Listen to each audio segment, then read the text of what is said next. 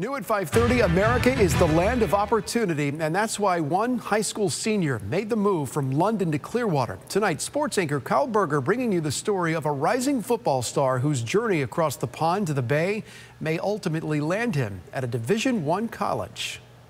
The heat was something I was trying to deal with. Of course, it was the Florida heat and humidity that was Seydou Traore's biggest challenge when making the move from London to the United States. When I first came, I quarantined for five days and played the game the coming week.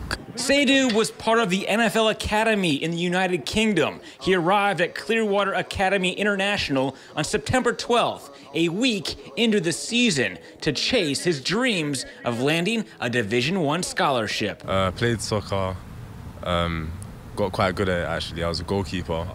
My passion was at football. At 6'3", 210 pounds, Seydou has the strength and the size. Even more impressive, he can make acrobatic catches like that.